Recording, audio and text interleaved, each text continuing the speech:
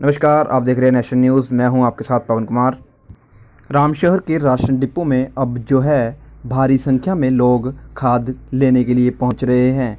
ऐसे में social distance की भी धज्जियाँ उड़ती हुई नज़र आ रही है। देश के प्रधानमंत्री नरेंद्र मोदी जनता से अपील करते हुए व समझाते हुए अभी तक यही कह रहे हैं कि दो गज की दूरी हम सब के लिए बेहद ज़रूरी। मगर ग्राम पंचायत रामशहर में राशन डिपो में लोग खाद लेने के लिए पहुँचे तो है, मगर सोशल डिस्टेंस की धज्जियाँ उड़ा रहे हैं। ज़्यादा जानकारी के लिए आपको बता दें कि राशन डिपो रामशहर में जो है, राशन वितरित करने वालों की संख्या सिर्फ़ दो ही है।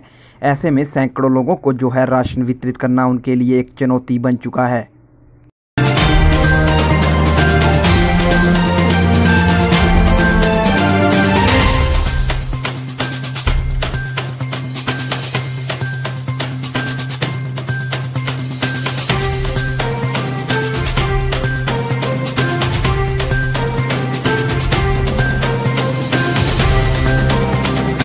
किसानों को खाद की बहुत कमी है क्योंकि अब मक्की की फ़सल के लिए सब्जियों के लिए आ, हमारे किसानों को रामसर क्षेत्र में खाद की ज़रूरत है और बहुत, बहुत दिनों से खाद नहीं आ रही थी।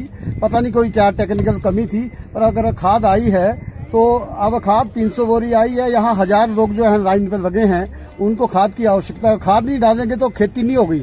अगर खाद नहीं खेती नहीं होगी तो इस करके आ, सरकार से गुजारिश करूँगा कि किसानों की के लिए उनकी फ़सल की महबूदी के लिए यहाँ निरंतर और और खाद मुहैया कराई जाए ताकि किसान प्रॉपर खाद डाल सकें और अच्छी फ़सल ले सकें। क्योंकि इस कोरोना की बीमारी में जहाँ एक और आर्थिक संकट चला हुआ है, वहाँ लोग जो है अपने को अगर संभाल पाएँगे तो अपनी खेती से संभाल पाएँगे। सरकार को चाहिए कि खाद जो है पर्याप्त मात्रा में इस क्षेत्र में मुहैया करवाई जाए।